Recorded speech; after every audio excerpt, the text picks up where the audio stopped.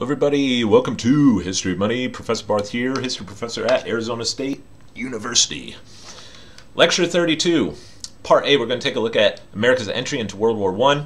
Part B, hyperinflation in Weimar Germany. Fascinating topic, of course. And in Part C, we'll take a look at Britain in the post war period in the 1920s and what happens to the gold standard in Europe after World War I. All right, so last time, presidential election 1912, Wilson becomes president. In March of 1913, eight months later, we have the Federal Reserve Act, which Wilson signs into law on December 23rd. And then eight months after that, war breaks out in Europe, known as the Great War. We remember it as World War I. Between the Allied powers, pictured there in the green, the chief being Britain, France, and Russia, against the Central Powers, Germany, Austria-Hungary, Ottoman Empire. Brutal, brutal war, obviously. Uh, ghastly war. A war from hell. Probably the most hellish war in world history, and I would say even more so than, than even World War II. It, it just the the trench warfare, the no man's land, the the mustard gas, the millions and millions of dead. And of course, there were millions dead in World War II as well. But man, this was just um, absolute catastrophe in Europe. And I would argue maybe the uh, the most catastrophic event in the history of Western civilization. Bare minimum, it's right up there. Absolute devastation. That war began in the summer of 1914, and the U.S. is like, we're staying out. we're staying out. Yeah, we don't have a dog in this fight. We're going to let Europe deal with it. We want nothing to do with it. And that really, that position really harkened back to Washington's neutrality proclamation all the way back in the 1790s when Britain and France and most of Europe were in war over the French Revolution and President Washington with great wisdom just said, you know what, we're staying out of these affairs. It's not our business, we're, we're staying out altogether. And that's how most Americans felt about this conflict as late as 1916. Now, public opinion was beginning to empathize more with the Allied powers for a number of reasons. Uh, when the Germans invaded Belgium in August of 1914, reports came back um, about all these atrocities that, that took place. It was called the Rape of Belgium. The Germans were portrayed in the press as uh, as monsters, brutes, and and some of those accusations were had an element of truth to them. Some of those accusations were fabricated or exaggerated by the British, um, a, a mixture of both. And then in 1915, a passenger line called the Lusitania was sunk by a German U-boat. The Germans gave advance warning, hey, this you know the ship is carrying uh, supplies to Brit to Britain, um, therefore it's subject perhaps to to attack. Uh, the warnings were ignored. Nonetheless, uh, that obviously reflected quite poorly on the Germans and the court of American public opinion. But still, America's neutral and, and feels strongly enough in that direction that Wilson runs on this campaign slogan. He's kept us out of war in 1916. War in Europe, peace in America, God bless Wilson. Nevertheless, behind the scenes, there's a lot going on. And this is a history of money class. So, oh, there's the electoral map. Look at that. Wipeout. Wilson wins handily in 1916, primarily on this on this campaign promise. But behind the scenes, a lot's going on, especially in the realm of finance. Okay, and it has to do with J.P. Morgan and Company. Now, J.P. Morgan and Mann died in March of 1913, even before the Federal Reserve Act. Nevertheless, the company lives on, of course, the investment bank. And his senior partner, pictured here, Henry Davison, if you've watched previous lectures, you will recognize that photograph because eh, he was a, an attendee at the Jekyll Island meeting in November 1910, which eventually gave us the Federal Reserve Act. Henry Davison, senior partner of JP Morgan, uh, uh, rushes over to England in order to cement a deal with the British Treasury and with the Bank of England, by which um, Davison and, and JP Morgan will have a monopoly on underwriting all the sale of all allied bonds in the US. Okay? Now remember what an underwriter is. An underwriter assumes the risk of selling securities, whether it's corporate or government, in this case government, and the profit lies in what's called the underwriting spread. And the underwriting spread is is the, the difference at which you know the underwriter makes the initial purchase and then where the amount they sell it for. And so JP Morgan um, secures this.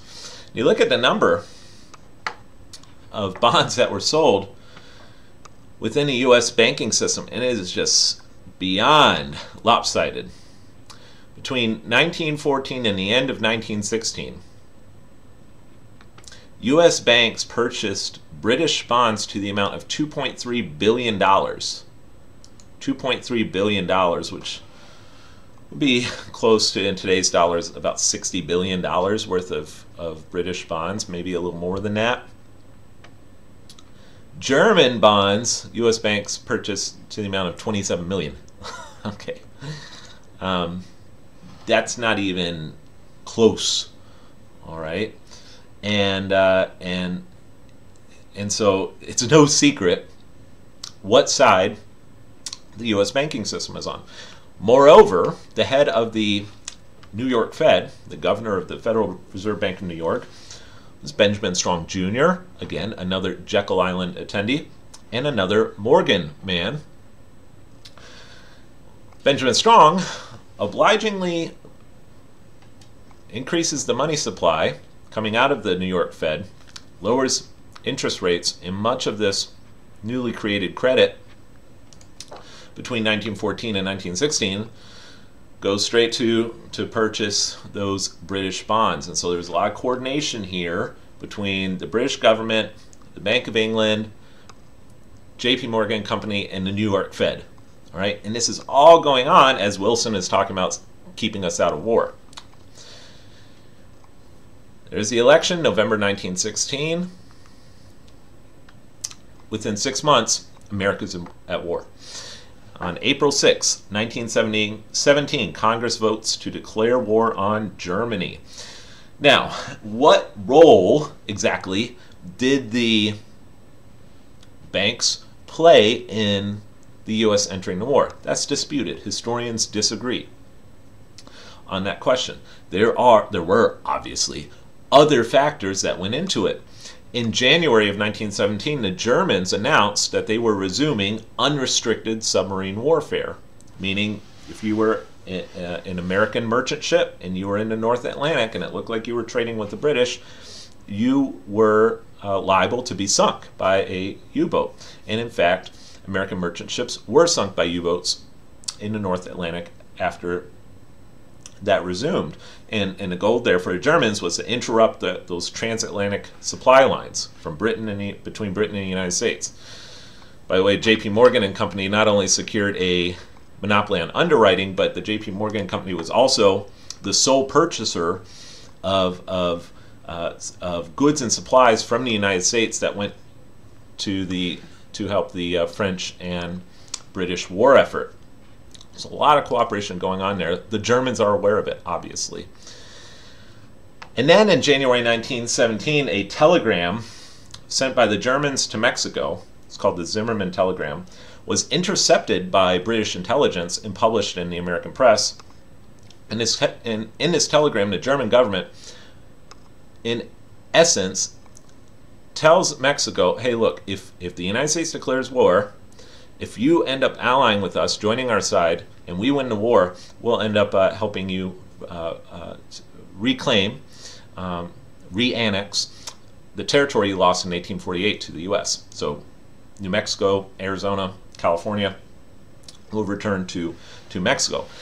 It's intercepted by British intelligence, published in the American press, and needless to say, sparks a total outrage. And so, all those things considered, Wilson approaches Congress, asks them to declare war. Back then, Congress actually declared war. Uh, Congress hasn't declared war since World War II. I think we fought a few more since then, but I, I, uh, I digress on that point. But Wilson said this is, you know, asked them to declare war, called it a, a war to end all wars. A war to end all wars. And then also, in addition, declared it a war to, quote, make the world safe for democracy. And so the U.S. enters that conflict.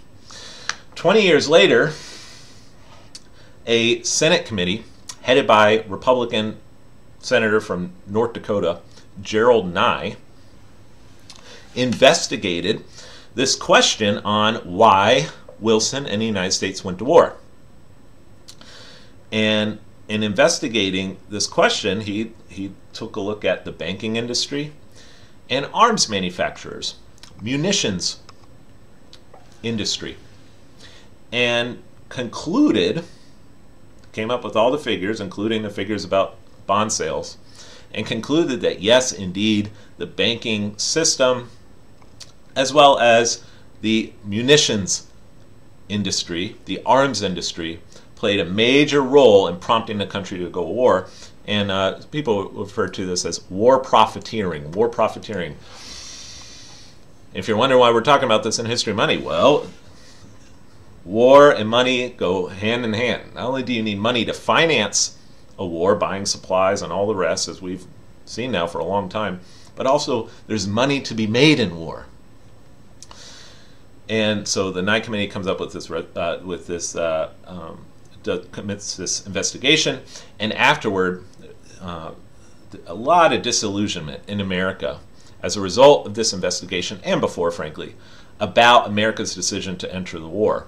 Then that later played a role into America's hesitation uh, for joining in uh, World War II. Okay, what became World War II, but uh, this had a, a big impact, and on in the middle of this committee, um, a the most decorated Marine in, in U.S. history up to that point, General Smedley Butler, Major General Smedley Butler, published a book called War is a Racket. Now, Butler had was a U.S. Marine Corps officer during World War One. Like I said, he was the uh, at that time the most decorated Marine in U.S. history. He received the Medal of Honor on two different occasions, as well as other medals. He wrote this book in 1935 called War is a Racket and just outlined all the different ways in which corporate interests profited from the war and concluded that basically the Americans were sold, sold a uh, false bill of goods. Had a big impact on American public opinion at that time. And then we also can't help but remember, this is a bit later, but the same idea money in war.